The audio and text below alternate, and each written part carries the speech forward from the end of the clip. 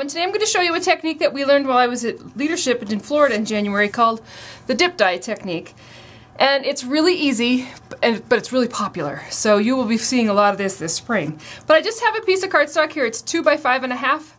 Um, I'm just going to make a little gift tag or a bookmark, whichever you would prefer. And I'm going to go ahead and start with the crisp cantaloupe.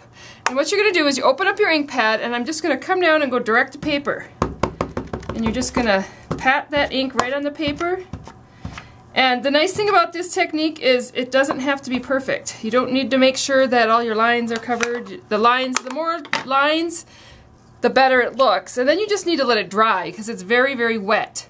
But the dip dye is that you, you know, people do it with their hair and they dip it into dye and it, you know, goes up so hard, far, but not as much. So that's what this is. And I'm just going to set this piece of cardstock aside to dry and I will be right back. Now one of the things about the ink getting onto that cardstock is as it dries, it'll get lighter and lighter and lighter and lighter. But I'm just going to go ahead and get started.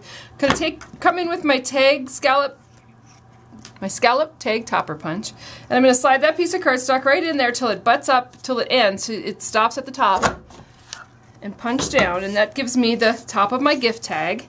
And then I'm also going to come in with my corner rounder and just line those up in the corners and go ahead and trim my corners of my tag. I like that finished look of the tag um,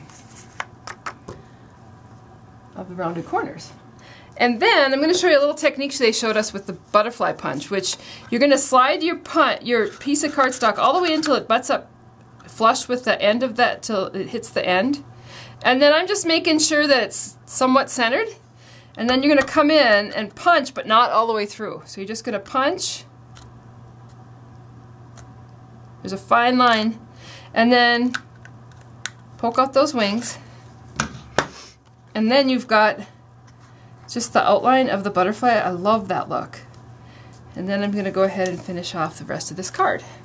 So I'm going to come in with another piece of crisp cantaloupe and this tiny little butterfly punch, and I'll punch one of those out. And I'm going to add that on with just a little piece of a dimensional. Add that to the middle of my butterfly. Come in with a little tiny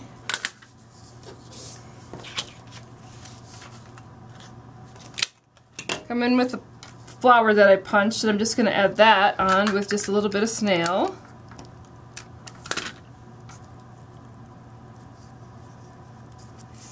And then I'm going to add in a rhinestone embellishment into the middle of my flower. Cute.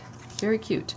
And then if you want to, you can come in with um, the same color ink and a stamp. So I'm going to go ahead and use this flower stamp from Happy Watercolor and just stamp that around.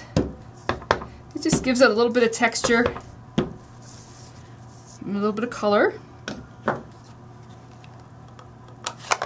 And then last but not least, this is actually going to be a tag on somebody's Stampin' Up! order.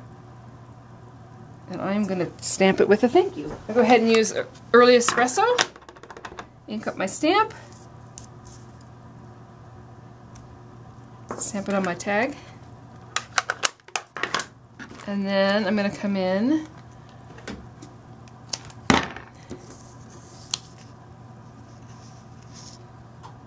with, yeah, I think I will go this way.